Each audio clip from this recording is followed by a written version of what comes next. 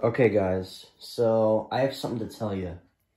So, so basically, just a couple minutes ago, I was watching a video. It was a, it, it was a video made by, it, it was like a, um, a weather radio collection video by Ruskin Emergency Alerts. I was watching his video, and when I got to the part where he was showing the 12522, and when he said that it died because it was an A08 version, that had me worried about my 522 because I don't know if it was an 08. So, after I opened it up, open up the cap, look what I see. 08. Meaning that this thing will probably eventually die soon. I just don't know when, though. I'm honestly surprised that it's lasted so long. Like, it still works. It still works, surprisingly. Like, just listen. Howdy. Cold with lows in the mid-20s. Northwest winds 5 to 10 miles per hour, becoming south after midnight. Monday, partly sunny. Not... Like, I'm genuinely surprised that it's lasted so long, but I did not know that 522s are the same exact thing. I did not know that there was different versions of the 522 as well.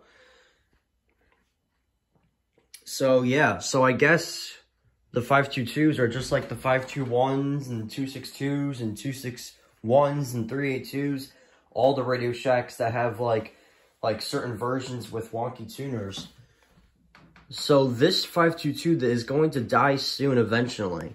And good thing I have the 259 right now that's like, it. I mean, it's obviously unplugged. It's not in service because, um, let's just say that I don't have any uh, adapters that have like, what, 5 volt, 6 volt things. So yeah, so since this 522 is an 08 version, I guess we just wait until it dies and then I'll replace it with the 259, but whatever. Wow. Like literally, that was a big discovery. So yeah, so this 522 is going to die soon, but it still hasn't yet. It still is living. It's still living. Around 5 miles per hour after midnight. And now the extended forecast for the radio listening area. Tuesday, mostly cloudy with a 40% chance of showers. Highs in the upper 50s. North winds around 5 miles per hour. Tuesday night, mostly cloudy. A chance of showers after midnight. Lows in the mid-40s. Chance of rain 30%. Wednesday, cloudy. A chance of showers in the morning, then showers in the afternoon. Oops. In the upper 50s. Chance of rain 80%. Wednesday night, showers. Not as cool.